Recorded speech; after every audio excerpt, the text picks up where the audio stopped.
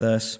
I know that especially uh, while those numbers are impressive, we're grateful for your attendance here tonight and for your willingness to come together and to listen to the Word of God. And tonight, he's going to conclude our meeting by teaching us on the topic of Is Your Home Headed for Heaven? Brother Rollo.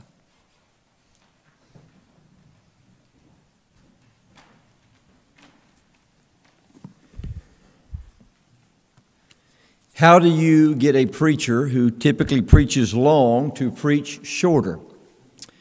Well, you could tell that preacher to speed up. That wouldn't be a good decision with me. You could uh, tell the preacher that, uh, you know, it, it's, uh, you need to stop early so people can get home on time. Well, that might work on me because I have an 11 and a half hour trip home uh, tonight and tomorrow. Um, but maybe I'll just preach and we'll see how it goes and we'll get you home before too late.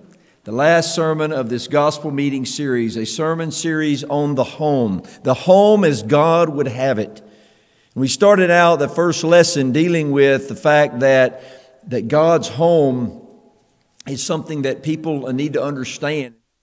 Designed to save souls. And it has been organized by God in a perfect way in our worship hour. We talked about how Satan was the enemy of the home, and then the home being under an all out attack. Last night we spoke about the home and the idea of getting uh, our home prepared for death. Well, tonight I have a question, and that question is the title of the lesson Is your home headed home? In other words, is your home headed to heaven? Turn, if you will, in your Bibles to the book of Ezekiel. Ezekiel chapter 18, and begin reading with me in verse 25. Ezekiel 18 and 25. Yet ye say, The way of the Lord is not equal.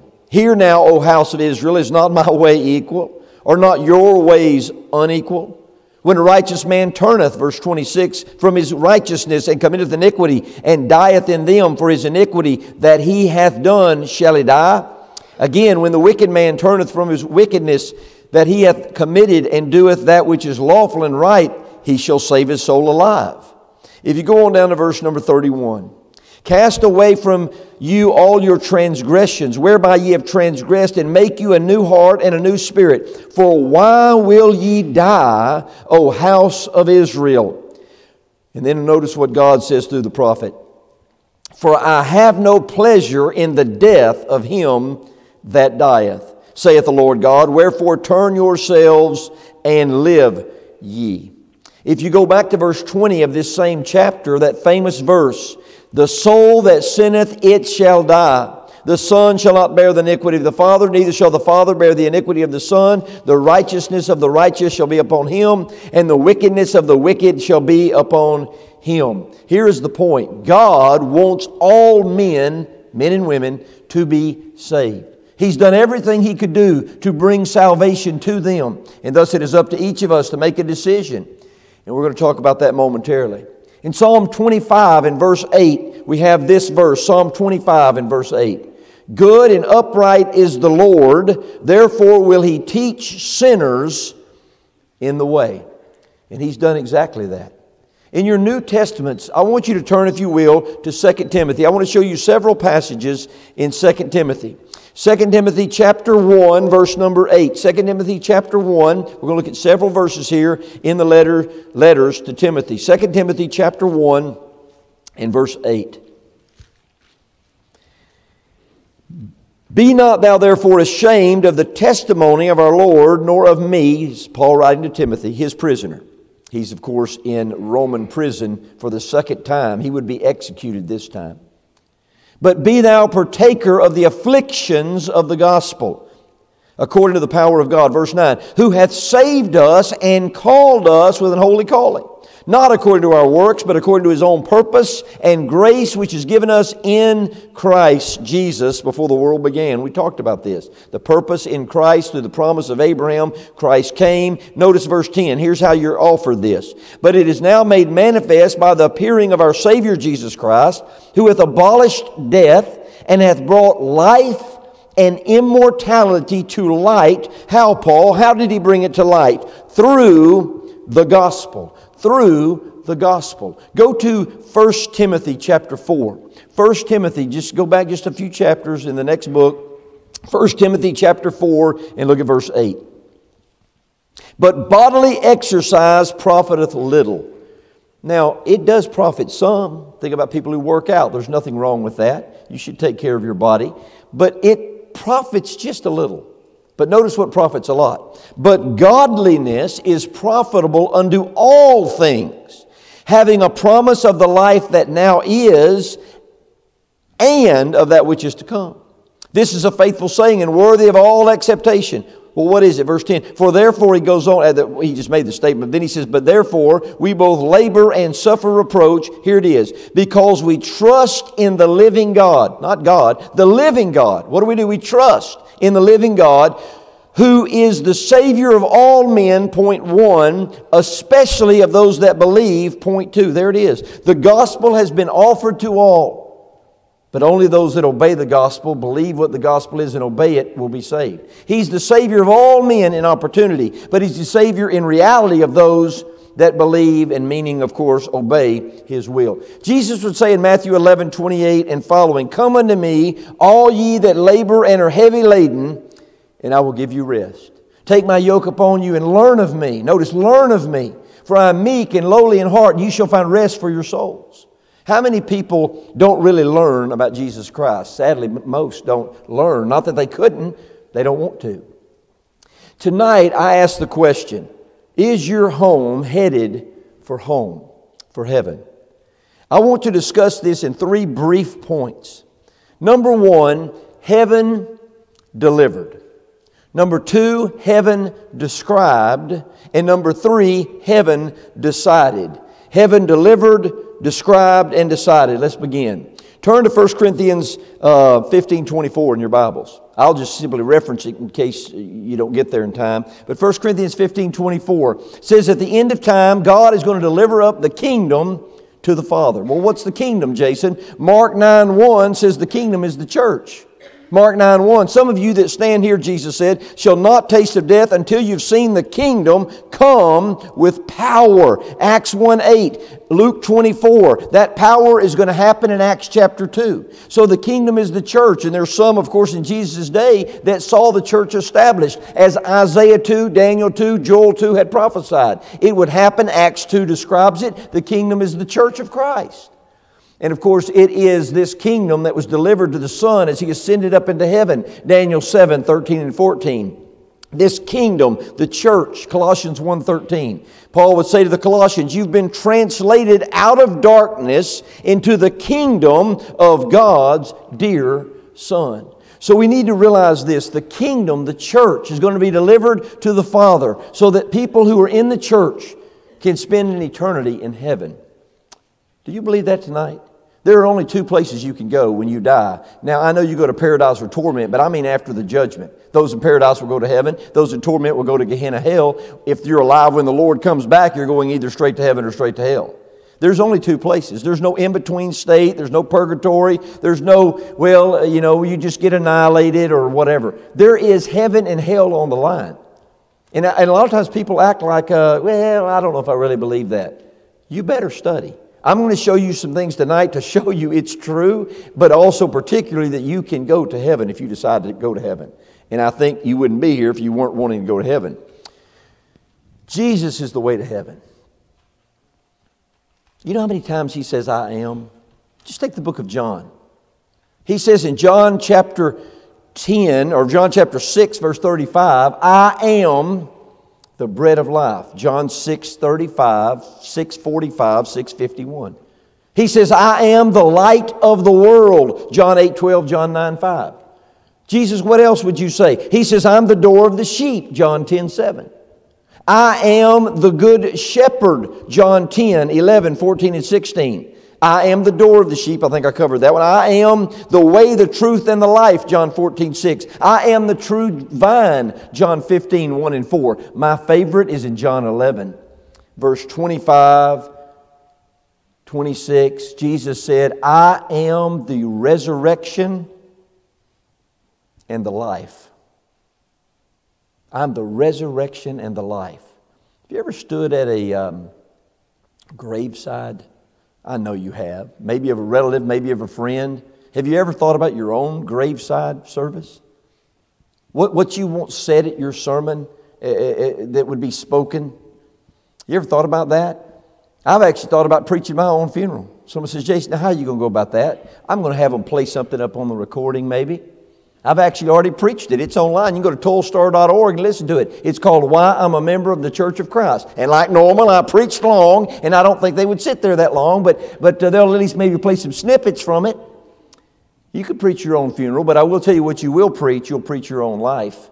Your life will be brought into the weight, into the balances of judgment. 2 Corinthians 5.10, we must all appear before the judgment seat of Christ to receive for the things done in the body according to that which we've done, whether it be good or whether it be bad. And I'm glad I'm a Christian because I've done plenty bad, but I know this much, it's all gone. It's been forgiven. So on the day of the ju- judgment, if, the if Satan is there, and we're of course using some figurative language here, and he's sitting there and he says, well, Jason can't go to heaven. I know he did this and this and this. And Christ, of course, being my advocate, would say, I don't know what you're talking about.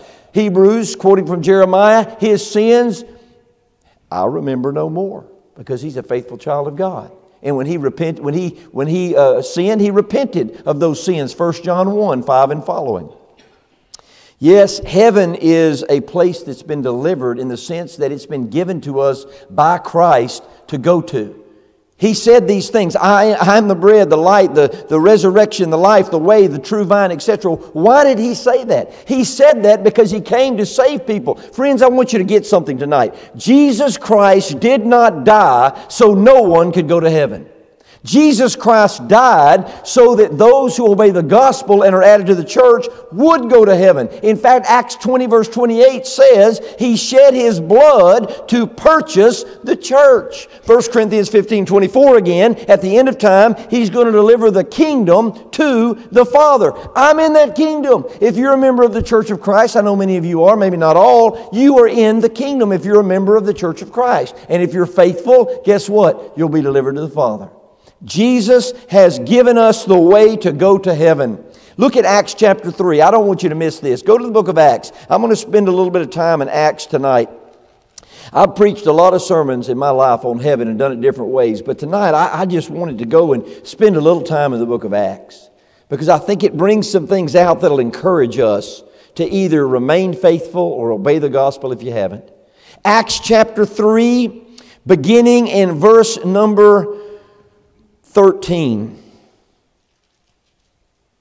I taught Acts recently in the school, not this last quarter, but the quarter before. And as I studied and pored over the book of Acts, it kept just coming up over and over how much this book is about the death, burial, and resurrection of Christ.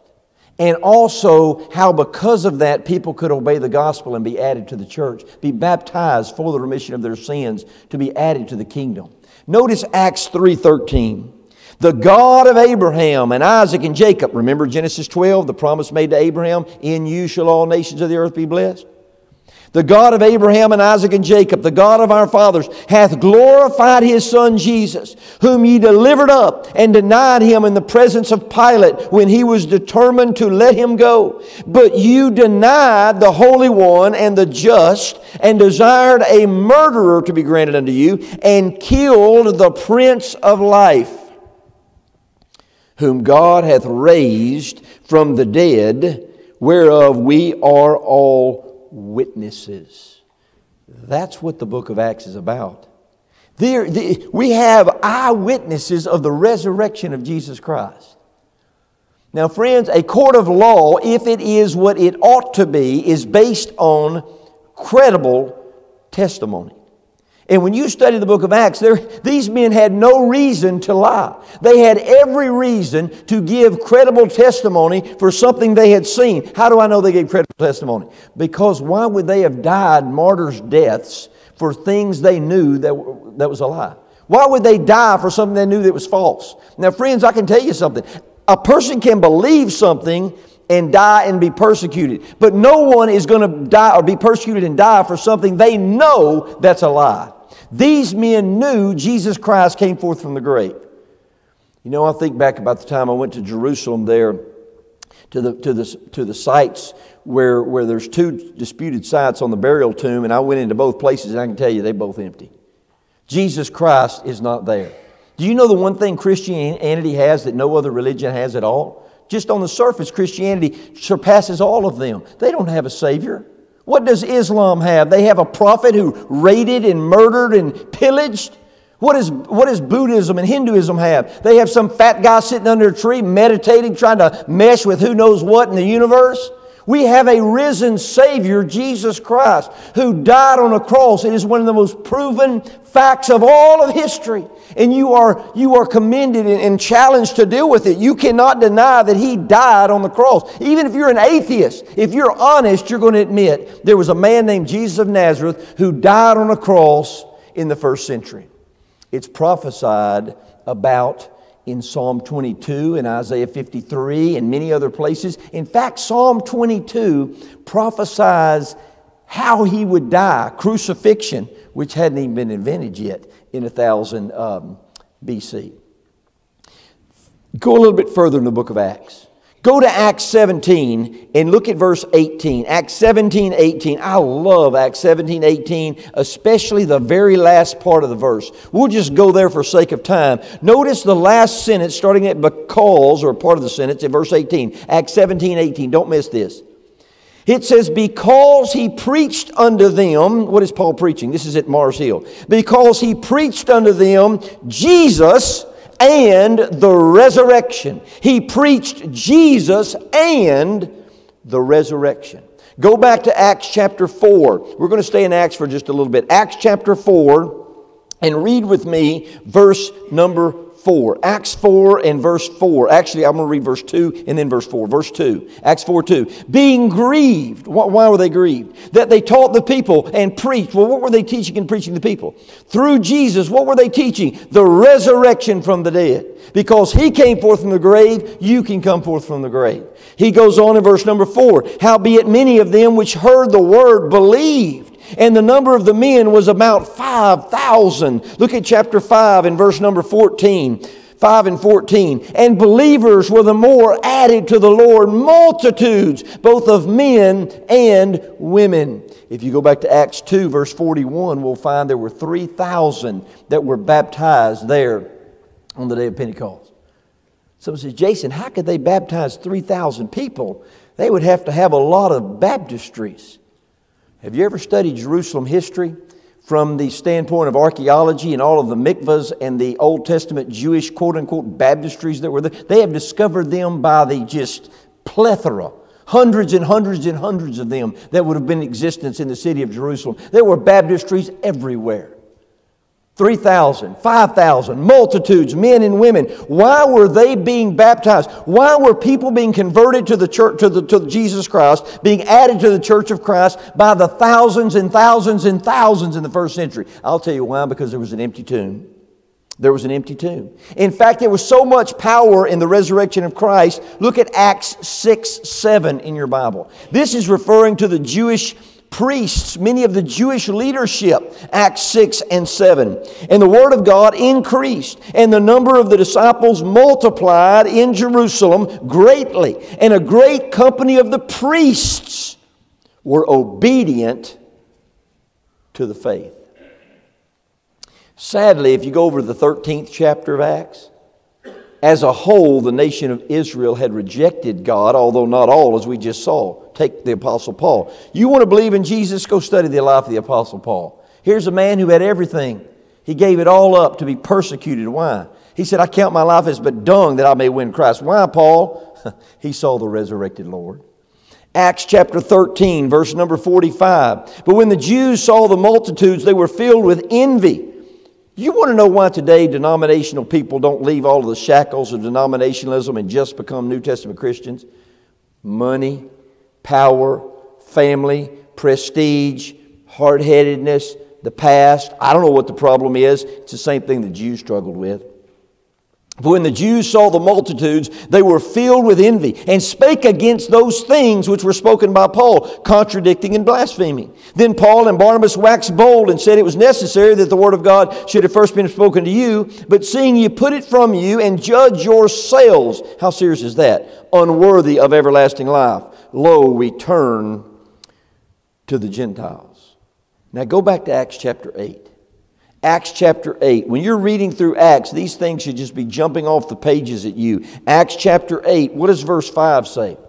Acts 8 and 5. Then Philip went down to the city of Samaria. What did he preach? He preached Christ unto them. What does verse 12 and 13 say? Now, when they believed Philip preaching the things concerning the kingdom, there's the church of Christ, of God, and the name of Jesus Christ, they were baptized, it's immersed in water, both men and women. No children, no, no sprinkling, no baby baptism. Men and women. Why? Because you have to believe and know what you're doing. It involves belief, repentance, confession in order to be baptized into Christ. Keep going down. Acts chapter 8. You get down to verse number 35. Then Philip opened his mouth and began at the same scripture. What did he do? He preached Jesus.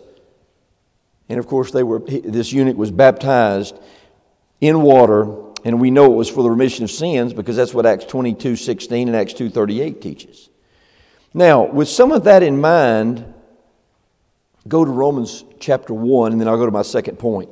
Romans chapter 1. Oh, the book of Romans is quite a book. What a book. People under, oh, they misunderstand Romans. It's so sad.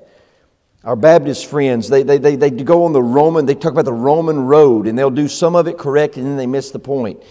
And, and, and it's sad because the, they get some of it correct, and then they miss some of it, and it's, it's sad. Romans 1 1. Paul, a servant of Jesus Christ, called to be an apostle, separated under the gospel of God which he had promised afore by the prophets in the Holy Scriptures. What is the Old Testament pointing to? Jesus. Look at verse 3. Concerning his son Jesus Christ, our Lord, who was made of the seed of David according to the flesh. You know, if you get back into the Old Testament history, you're going to find one of the kings that was a little baby. The rest of the seed line had been destroyed, and one little six month old baby and his own grandmother, I believe it was, tried to kill him, and he survived. Why did that little baby survive? So that Jesus Christ could come into the world, and he would be the one to offer salvation to all men, all women, all people, everywhere, if they would obey the gospel and become New Testament Christians.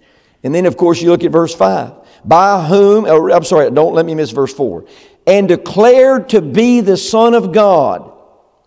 The idea declared here is they settled a verdict. It's like the verdict is in and it's settled. Well, what's the verdict?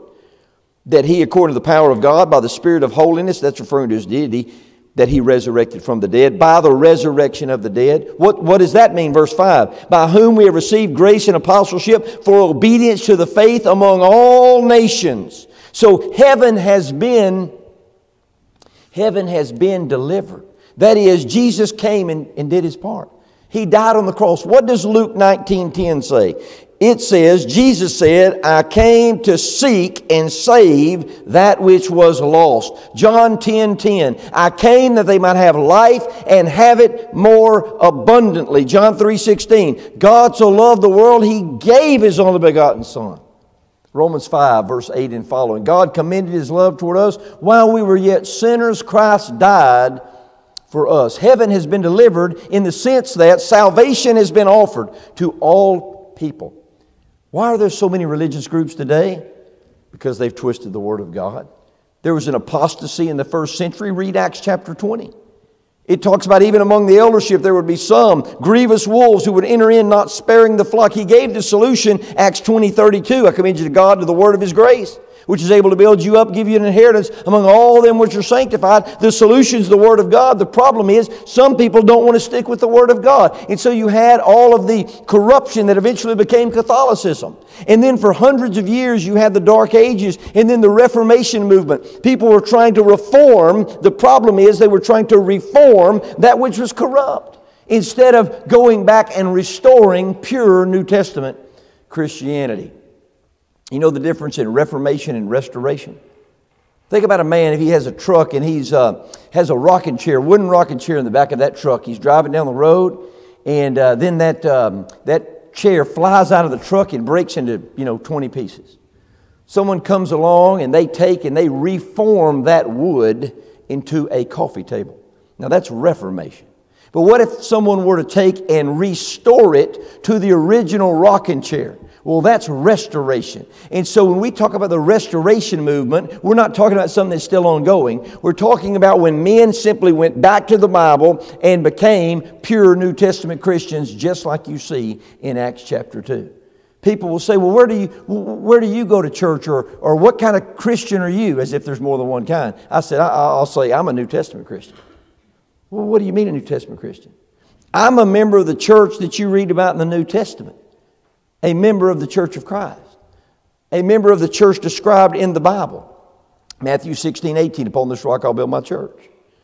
Heaven has been delivered because of what Christ did for us.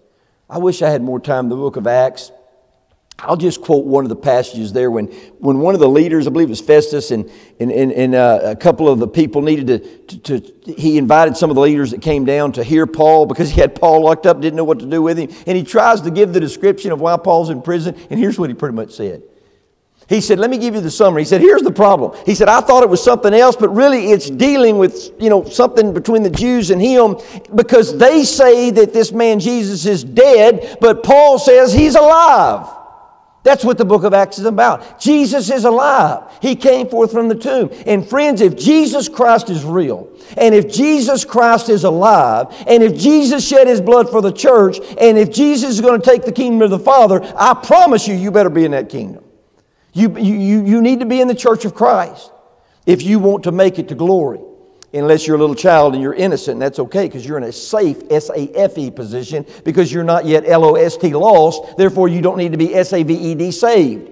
But if you're lost, if you're in age of accountability and you understand what I'm saying, you need to make a decision to obey the gospel tonight to get into, to be added to, you can't join, to be added to the church of Christ, the church of the New Testament, one that can be described in the pages of the Bible, how they worship, what they believe, how they're to act.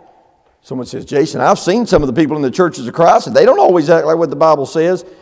God will deal with that, but that doesn't mean it's not perfectly described in this book. He'll take care of hypocrites the same way he will those who rebel against his word. Well, what about heaven described? Someone says, Jason, how are you going to preach a sermon and describe heaven? This could take all night. It could, except for I'm not going to hurt you too bad tonight. I want you to notice how quick I'm about to describe heaven.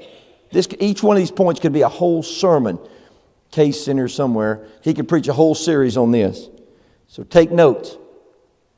Heaven is described as a city. Hebrews 11 10. Hebrews 11:10. I do want you to look over to Hebrews. I'm not going to look up all of these passages, but I want to show you a few of them. Hebrews chapter 11 and verse number 10 says this.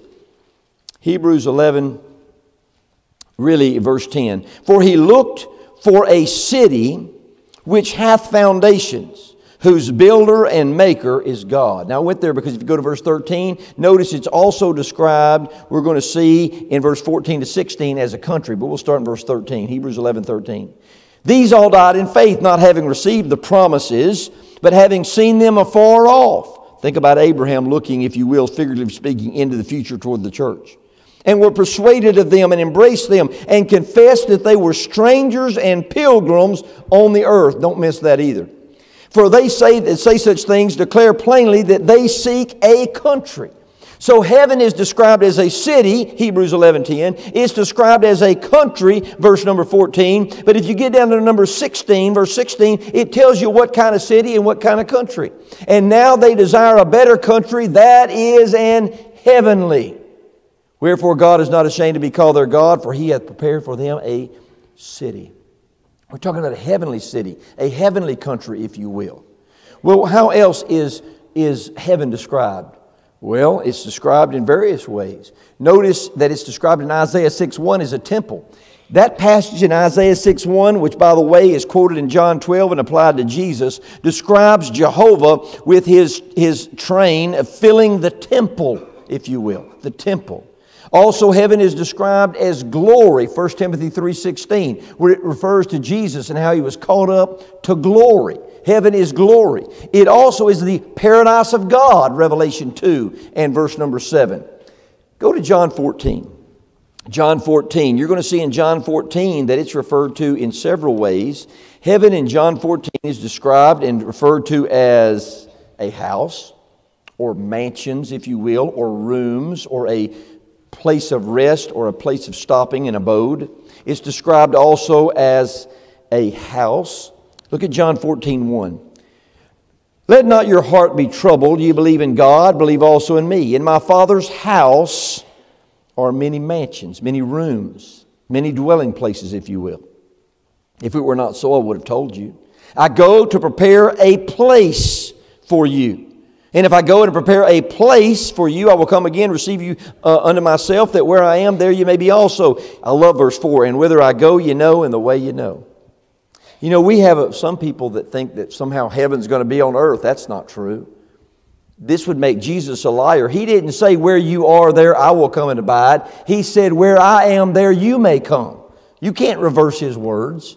Not to mention, why would he call it a heavenly city and a heavenly country if it's going to be an earthly city and an earthly country? That makes no sense. Heaven is referred to as the throne room of God, Matthew 5 34. It says, Heaven is his throne and earth is his footstool. Yeah, there's a difference in heaven and earth. Earth's going to be burned up, but heaven's not going to be burned up, not the ultimate heaven. The first two heavens will be where the birds fly and the stars exist, but not where God dwells. Isaiah 57 15, God inhabits eternity. Jesus made this so plain. Lay not up for yourselves treasures on earth, where moth and rust doth corrupt, Matthew 6. But lay up for yourselves treasures in heaven. Jesus understood heaven was another place because in John 17, verse 5, he prays to the Father and he says, Father, restore me to the glory I had with you before the world was. You read Daniel 7, he's caught up to heaven, to the throne room of God, and he's at the right hand of God, on, on the throne, at the right hand of God, if you will. Heaven is described as a kingdom, 2 Timothy 4.18. Someone says, Jason, you said the church was a kingdom. It is. But also heaven is described as a kingdom as well. 2 Timothy 4 and verse number 18, notice this language. Paul says, And the Lord shall deliver me from every evil work and will preserve me unto his heavenly kingdom. Now that reminds me of Philippians 3:20. It says that our citizenship is in heaven. Well, no wonder then that he said we're strangers and pilgrims in this world. 1 Peter 2 11.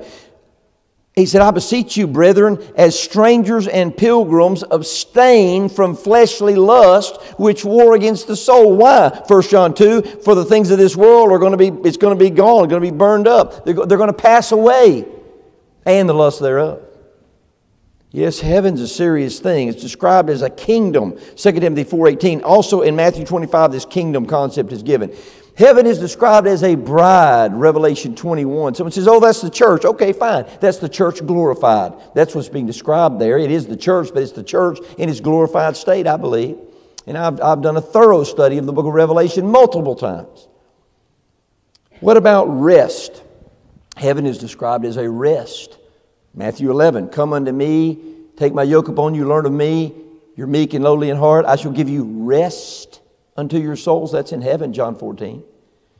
What about uh, Hebrews 4? The, Hebrews 4, 3 and 4, the whole thing is let us labor therefore to enter into that rest. Heaven is rest. It's also referred to as joy. Matthew 25, 21 and following. Enter into the joy of thy Lord.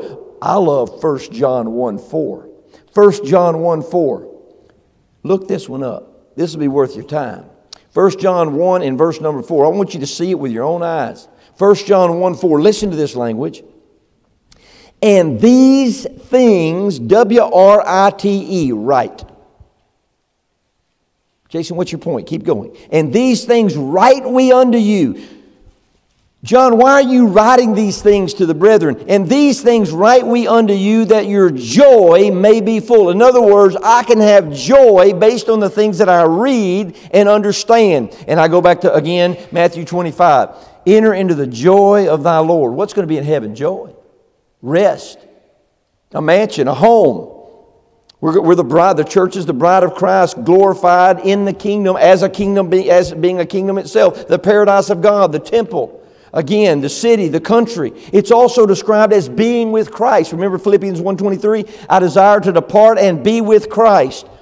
Also with God. Revelation 21 talks about God, we, we shall be with God. 1 John 3 says, when the end of time comes, we're going to see Him, Jesus, as He is. 1 John 3 1 and following. Salvation. Philippians 1.28, 1 Thessalonians 5 8 is called salvation. Heaven, heaven's called salvation. What about this? It's a reaping. Galatians 6 says you're going to reap what you sow. Well, guess what? We're going to reap heaven. We're going to reap glory. It's even referred to in a figurative sense as, as, a barn in Matthew 13. The barn where all the wheat is kept, not a literal barn. These are figurative descriptions. How about this one? Victory. 1 Corinthians 15, 54 and following, it says, We shall have victory through our Lord Jesus Christ. 1 John 5, 4, faith is the victory. I love Revelation 15, 2. Revelation 15, 2 describes the, the church, the people of God there, and there's no more sea. They have this sea, the seas mingled with fire. That's the persecution they have been through, but then they're, they're with God. There's no more separation. There's victory that is described as the glorification of God's people in heaven. And you know what heaven's described as? It's described as heaven. Go to 1 Peter chapter 1. You would think you wouldn't have to show this to people.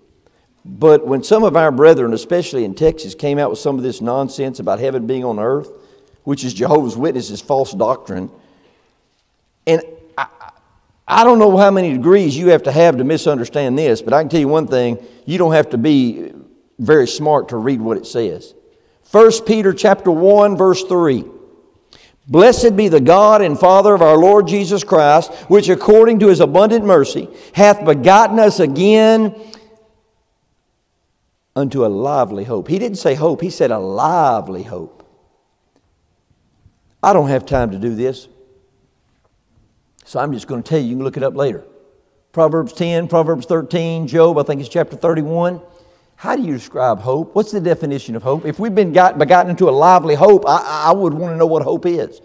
Well, if you go read those passages I just gave you, you're going to find this. Words are used interchangeably in some of those passages. So it'll say, like the word, you know, a desire, and then it'll have the word hope, meaning hope and desire could be used interchangeably. Here's the point when you look it up in the Old Testament, hope involves desire, expectation, and confidence. Now, read it this way he says he's begotten us again into a lively desire, a lively expectation, a lively confidence. He calls it hope. Begotten us again into a lively hope. Brethren, I was going somewhere in the book of Acts. What brings it about? By the resurrection of Jesus Christ from the dead. I know that Jesus Christ came forth from the grave. Therefore, I have desire, I have expectation, I have confidence, I have hope. And Romans 8 24 says, saved by hope. And Ephesians chapter 4 said there's one hope. One hope. In the next verse, verse 4 says that hope is in heaven through Jesus, Titus 2 11 and following. To an inheritance incorruptible, undefiled, and that fadeth not away, reserved in heaven for you. So some little old smart aleck gets over there studying N.T. Wright and Randy Alcorn and all these other false teachers that try to make heaven into something on earth. And they get over there in 2 Peter and they say, well, he talks about a new heaven and a new earth. Well, that language is from Isaiah. And it's referring to a new environment. And the new environment is heaven itself because the same person who wrote 2 Peter 3 wrote 1 Peter 1. And he says it's reserved in heaven which is exactly what Paul said in Colossians 1 5 and 6 and 7. So I have no idea how anyone could ever read their New Testaments and teach some of this nonsense. But we have churches of Christ with men who, who teach this thing. And, and, and even say things like, well, I mean, is it a big deal after all? I mean, can it just be an opinion? You start messing with my hope, it's not an opinion. There's one hope. Our hope is in heaven. Our hope is through Jesus Christ to go to heaven. And when you say it's an opinion, no, it's not. It's not an opinion. This is a hope. This is, this is the hope of Romans 8. Verse number 24. Oh, they love Romans 8, but they don't understand Romans 8. Romans 8 could be personification, but if you actually go and read those passages, I believe the creation there is the church, Christians, and the first fruits, I believe, are the apostles. And so the point is, he's, he's, I believe, simply saying that the creation, the church, those in the church, just like the world that suffers as well, but Christians, they moan and they long for something. What is it? To be clothed on with immortality. 1 Corinthians chapter 15.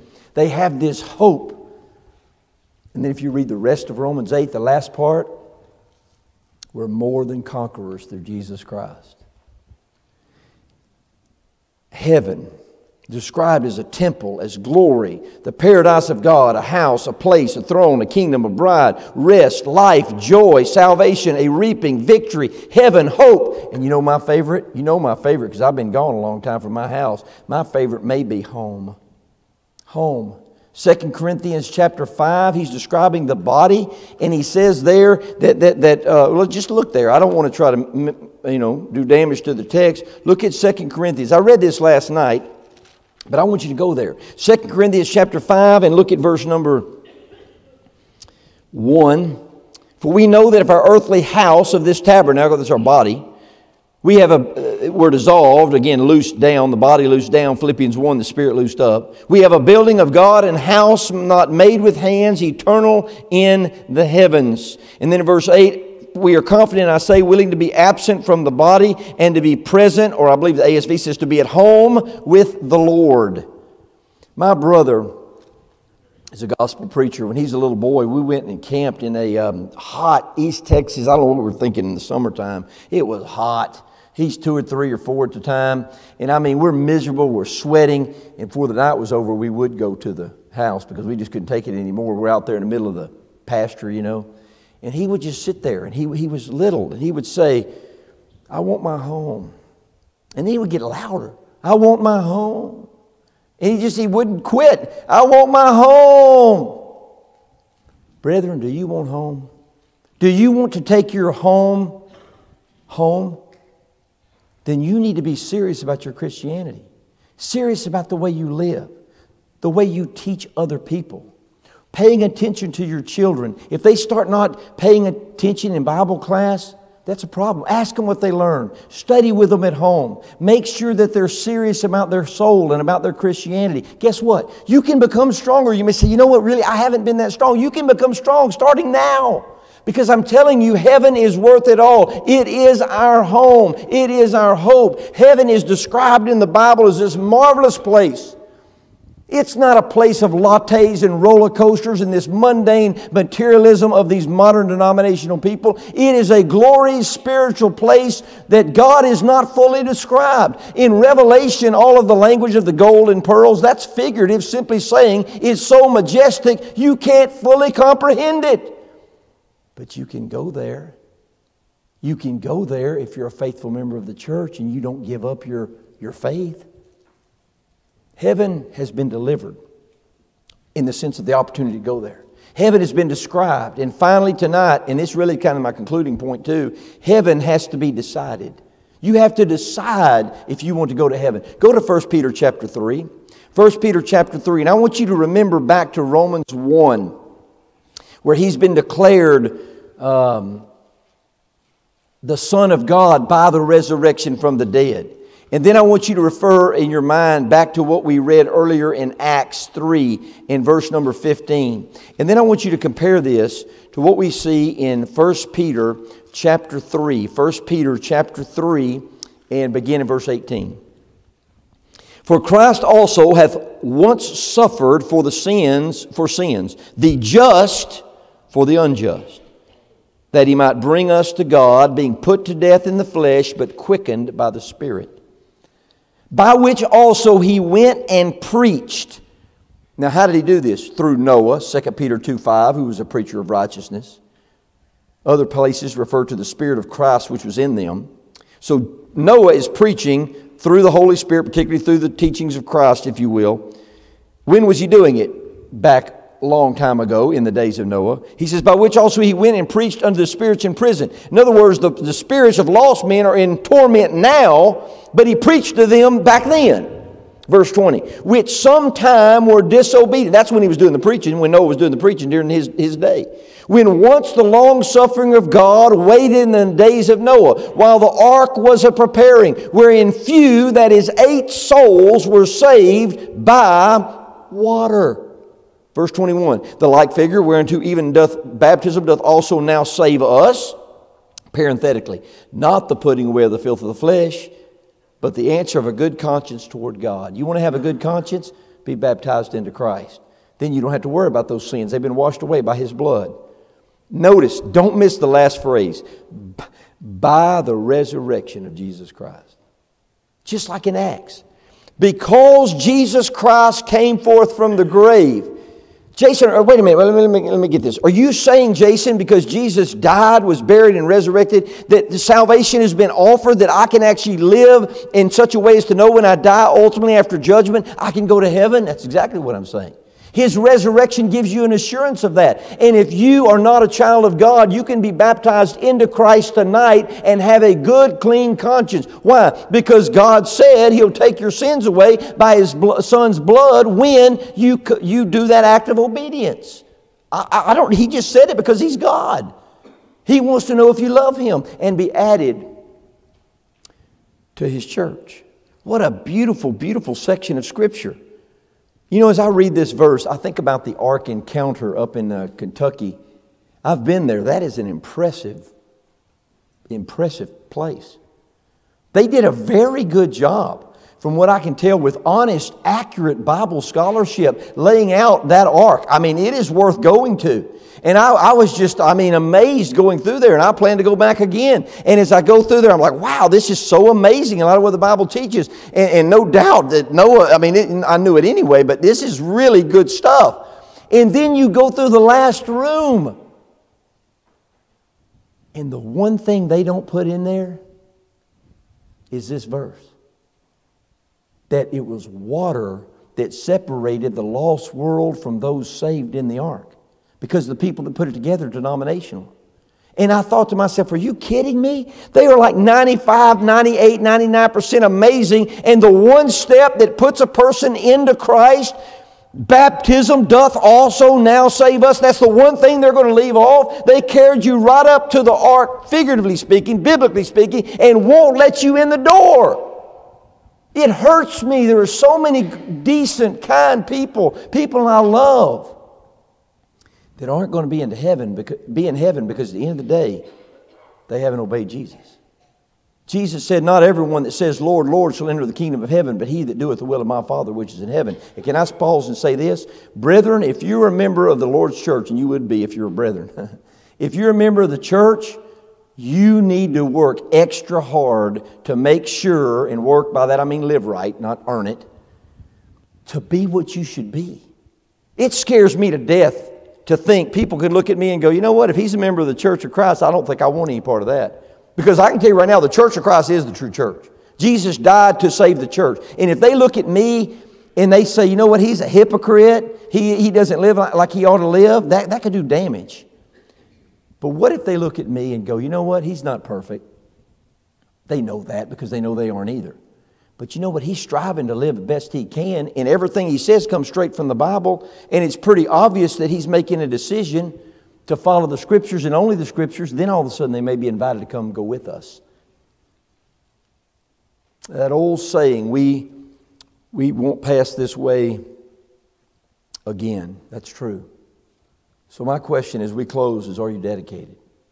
Matthew 16 24 says that a man should deny himself and follow him. What shall a man, verse 26, give in exchange for his soul? I tell you, nothing's worth giving. It's not worth giving anything to give up your soul.